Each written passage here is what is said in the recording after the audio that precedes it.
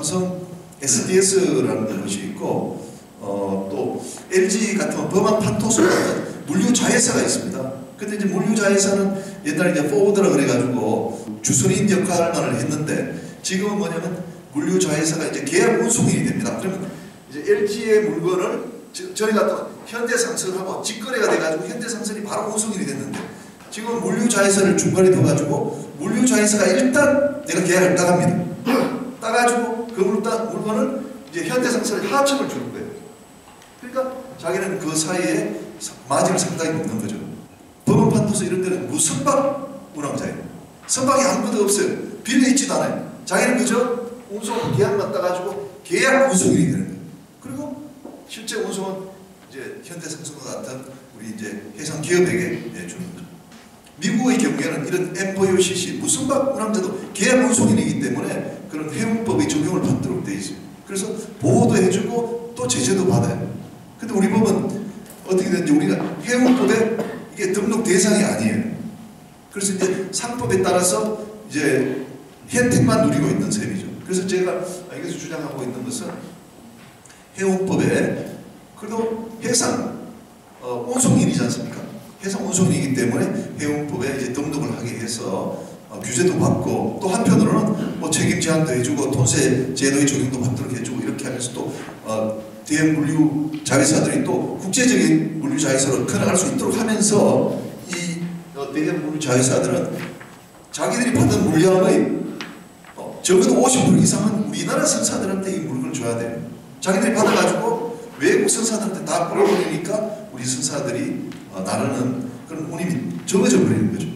컨테이너 사업도 우리가 이제 어, 컨테이너를 가지고 이제 임대하는 사업을 해서 매출을 올릴 수 있는 거고요. 그다음에 컨테이너 이제 부두도 뭐 운영을 할 수 있습니다.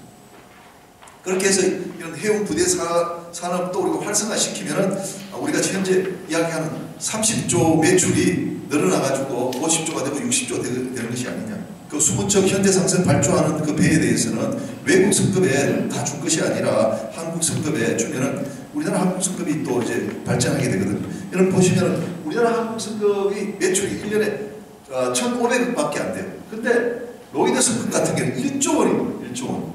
그 우리가 지금 잘 키우게 되면 매출이 1조가 늘지 않겠습니까? 그 말씀을 이제 드리는 것이고요. 회사 법률문제 95%가 영국으로 갑니다. 그래서 20년 전에 해상 변호사 숫자가 40명인데 지금도 40명이에요. 해상법 교수 10년 전에 5명인데 우리나라에 지금 2명밖에 없습니다. 서울에. 법률 서비스도 해상법도 우리가 어, 좀 관심 갖고 키우면은 매출이 상당히 늘어날 텐데 이제 수마인이 컨테이너 박스를 이제 찾아갑니다. 그러면 이 컨테이너 박스를 운송인한테 돌려줘야 돼요. 이제 컨테이너 운송에 있어서는 화주가 이제 컨테이너 박스에 화물을 실어서 주는 것이 아니라 운송인이 컨테이너 박스를 화주한테 제공해 줘야 됩니다. 그럼 컨테이너 박스가 안 들어오면은 이 선사가 컨테이너 박스를 자꾸 빌려야 되지 않습니까? 그렇기 때문에 컨테이너 박스를 수화인이 제대로 안 돌려주면은 페널티를 먹여요. 최선료를 받아야 되거든요. 근데 우리나라에서는 대형 그런 화주들에 대해서 우리 선사들이 감히 최선료 내십시오라는 이야기입니다. 그럼 다른 외국의 전기선사에 가버린다는 겁니다.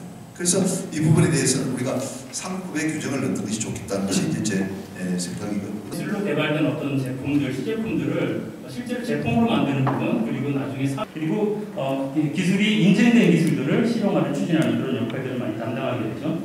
현대상선이 지금 상당히 지금 그 어려운 상황에 있는데 과거 한진해운이 가졌던 그러한 시장 포션까지도 현대가 회복하게 하기 위한 어떤 그 정책적 지원 이런 부분들 그런 부분들 결국은 한 기업의 구조 조정 부분들인데요. 그런 부분들을 저희 한국해양진흥공사가 산업은행이랑 같이 지금 경영 관리를 하게 되어 있고 2021년부터는 저희 한국해양진흥공사가 주관해서 현대상선의 경영 관리를 주관하도록 그렇게 되어 있습니다. 그래서 물론 현대를 제외한 중소상사들에 대한 어떤 그 금융 지원도 당연히 저희가 해야 될 목적이라고 보시면 되겠고요. 저희 공사의 법정 자본금은 5조입니다. 다만 지금 납입된 자본금은 한 2조 8천억 정도가 되게 되어 있고요. 법적으로는 납입된 자본금의 4배까지 레버리지를 할 수 있습니다. 즉 지금 3조라고 하면 3, 4, 12, 12조까지 저희 공사채를 발행할 수가 있습니다. 저희 공사의 신용 등급은 triple A이기 때문에 저희 공사가 공사채를 발행하게 되면 지금 아마 한 2.2에서 2.4 정도의 이자율로서 쿠폰 금리로 제가 공사채를 발행할 수 있습니다. 이 부분은 SLMB라는 건 뭐냐면 승사가 지금 선박을 갖고 있습니다. 근데 갑자기 유동성이 부족합니다. 돈을 꿔야 되는데 이 선박을 담보로 해가지고 돈을 꿀 수도 있는데 대개의 경우 이미 담보가 다 잡혀 있는 경우들이 많습니다. 이제 그런 경우 우리 공사한테 선박을 팝니다. 그럼 공사가 좋은 가격으로 선박을 사서 선박 가격을 주지 않습니까? 그러면 그 선사는 일시적으로 현금성 유동성을 확보하게 됩니다. 그리고 공사로부터 대선을 받아가서 계속 운영하게 됩니다. 그럼 공사는 그 대선료를 받는 구조로 해서 이제 선박에 어떤 그 돈준 거를 이제 받아내는 그리고 마지막 연도에 가면은 BBCHP처럼 선사가 다시 소유권을 회복해 갈 수 있도록 하는 즉 자기의 자산을 공사에 일시적으로 팔아서 유동성 확보를 하고 그 팔은 선박을 다시 대여를 받아가지고 계속 사업을 영위할 수 있도록 하는 그런 사업 scheme이라고 보시면 되겠습니다. 우리 현대한진이 전 세계 글로벌 터미널을 갖고 있다가 어려울 때 많이들 팔았습니다. 그런 팔은 것들을 다시 되살 때 저희들 그 공사가 재무적 투자자로서 일정 부분 선사한테 출자도 해줄 수 있고 그 터미널에 사모펀드가 만들어지면 그 사모펀드에 저희가 재무적 투자자로서 출자까지 출자하는 그런 구조로 저희들이 그 글로벌 터미널 확보하는 부분들을 지금 추진하고 있고 빌려줘야 될 선사의 어떤 신용도가 낮을 경우에는 선사들이 조금 이자율 벌자고 충당금까지 쌓아야 될 필요성이 있을 경우 그런 경우에는 이 마켓에 들어오질 않습니다. 그럴 경우 저희들이 선사의 신용 보강을 위해서 한국해양진흥공사가 보증을 서주게 되면은 한국해양진흥공사는 신생 조직이긴 하지만 정부가 법에 의해서 만드는 조직이기 때문에 national rate로 좋은 어떤 신용 조건으로 우리 선사들이 이제 그 금융을 일으킬 수 있도록 도와주는 scheme인데 장치는 선박에 장착하고 나게 되면은 선박의 종물 즉 부속물이 되어버립니다. 별도의 담보 가치가 없는 겁니다. 또 이런 장치를 장착했다고 해서 그 선박의 현금 흐름이 개선되어지는 것도 아닙니다. 즉 그러니까 금융을 일으킴에 있어서 대상이 없는 겁니다. 그러나 선사들은 이걸 무조건 해야 되고 그러면 은행 가서 돈을 꿔야 되는데 안 꿔줍니다. 이럴 때 저희 공사가 이제 보증을 또 서주게 됩니다.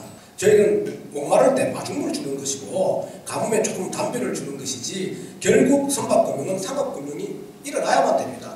공사는 그 브릿지 역할을 하는 겁니다. 회원 시황에 대해서 우리 선사들이 실시간으로 받아볼 수 있도록 하고 회원 지수를 개발해가지고 선도거래 파생 상품이 일어날 수 있도록 하고 회원 산업 리스크 관리 우리 회원 글로벌 경기 동향과 우리 회원 산업들 무역 패턴 또 선사의 어떤 경영 구조 이런 것들과 관해서 우리 선사들이 언제 경영에 많은 불이 켜지는지 이런 부분들과 빨리 알아볼 수 있도록 하고 또 성과 관리 시스템 시시각각으로 변하는 이 성과를 어떤 지수를 통해서 어떻게 관리해야 되는지 공사로서의 어떤 기능에 좀 더 공적 부분이 더 강화하도록 그렇게 준비하겠습니다.